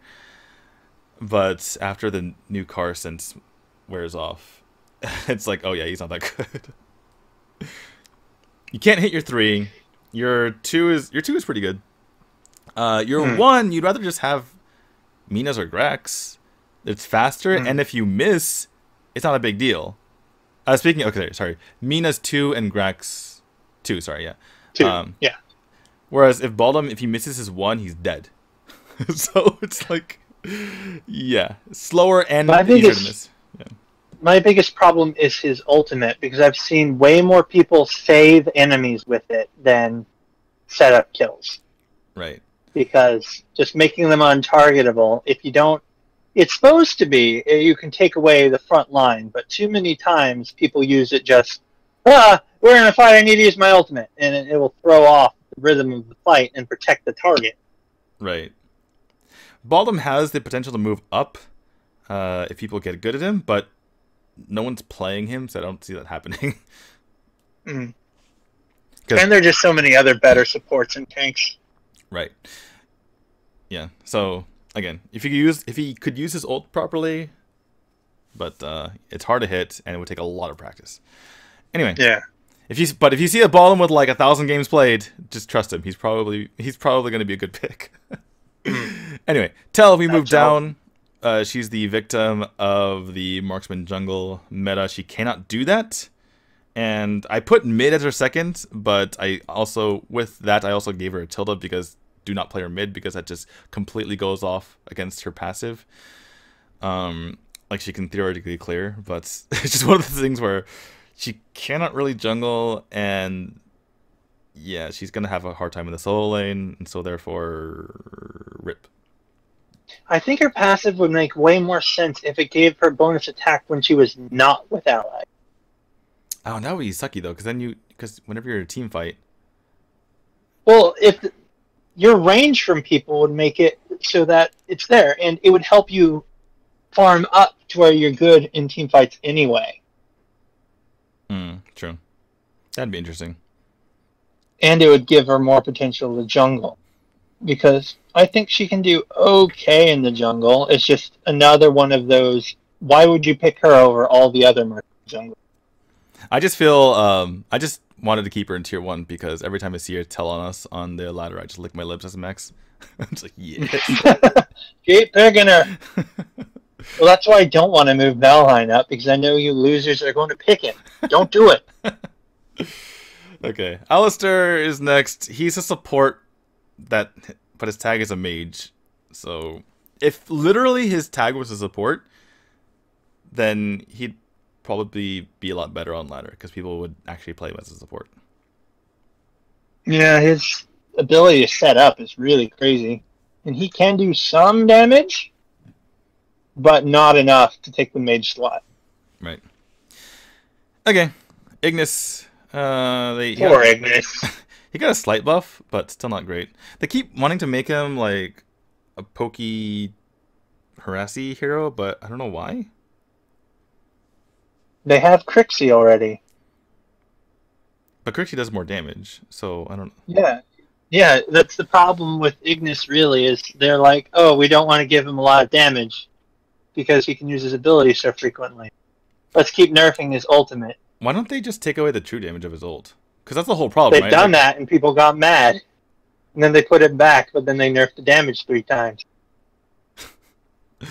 yeah, the problem is his ult is so easy to hit that it can't be that powerful. So, yeah.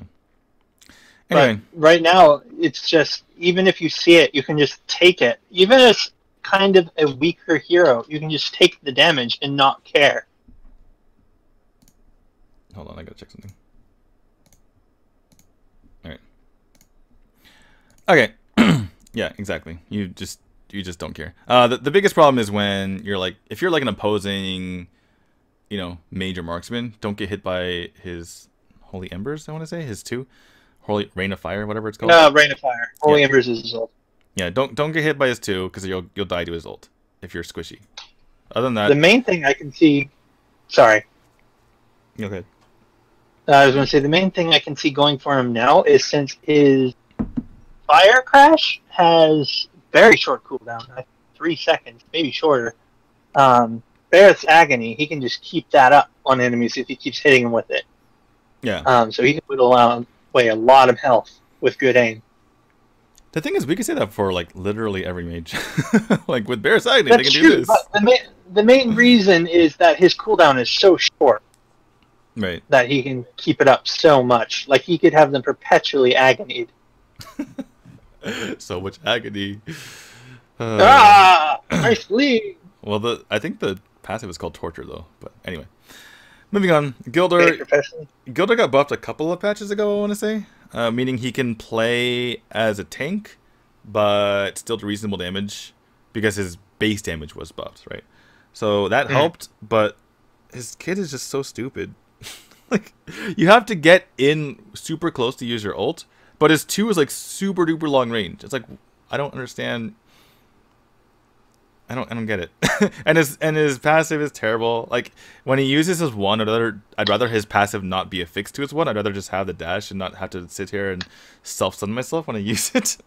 it's just like his passive would be better if it happened immediately. If it didn't have such a long animation. His passive, would, his passive would you be better. You can literally walk away and not get hit by it. His passive would be better if it wasn't a passive. This just said he, he loves gold, and that's his passive. Because well, literally, I'd rather he, auto attack. I would rather just auto attack than have to sit there and self stun myself. He used to get rather big shields, but I feel like they've changed them um, because they used to stack. If he used all of his abilities one after another, his shields would get pretty big, but they don't do that anymore. So I don't know if that was a hidden patch or if I missed it in the notes or something but it would help him a lot. But he just doesn't get that anymore.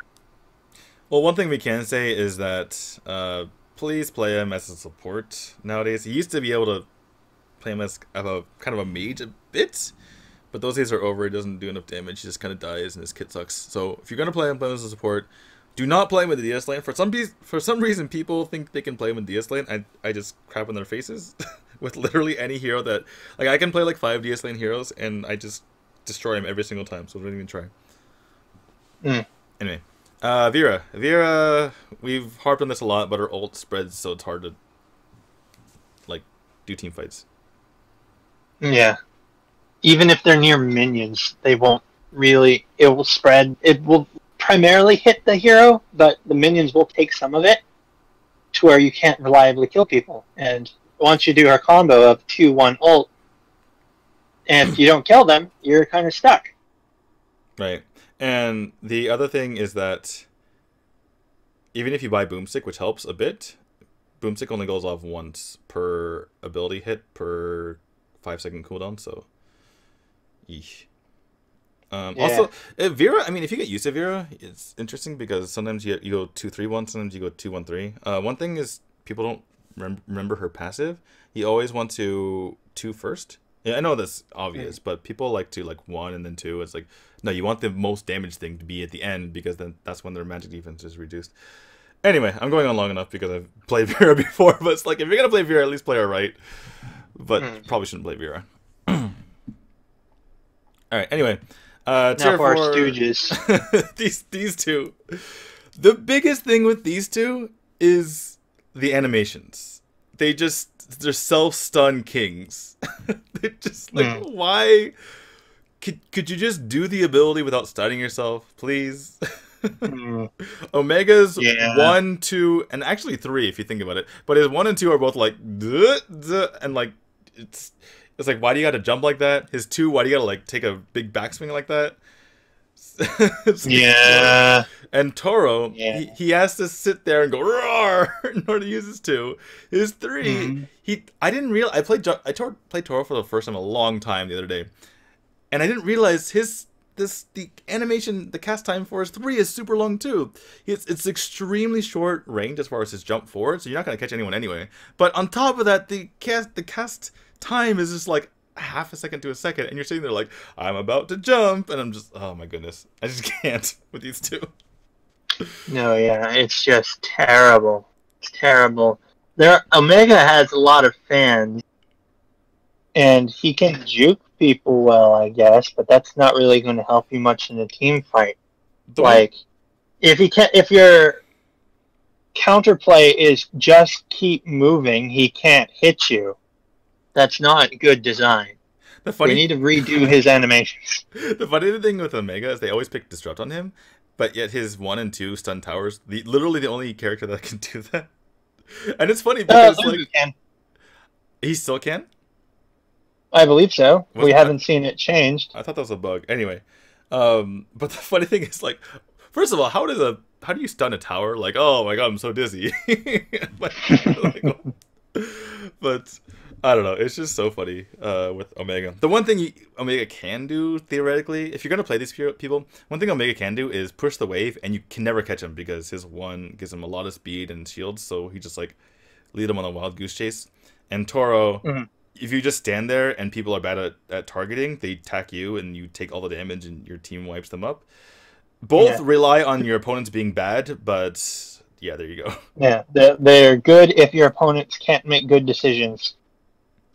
Well, that about wraps it up. I know you're super tired and I got to go do a podcast, but thanks for watching, guys. And uh, head to our tier list. And once you go to our tier list, click on some other stuff. We got some good articles for you. We've put a lot of effort in this game, figuring out ability ranges, ability mechanics, a lot of statistical articles, a lot of theory crafting articles, and we uh, hope you give it a try. Any last words? Uh, not really. Go listen to the Tower Dive podcast. I won't be there, ladies, so I'm sorry about that. But I believe that TJ is also a very charming man. that he is. All right, see you guys. Thanks for watching. Bye. Bye.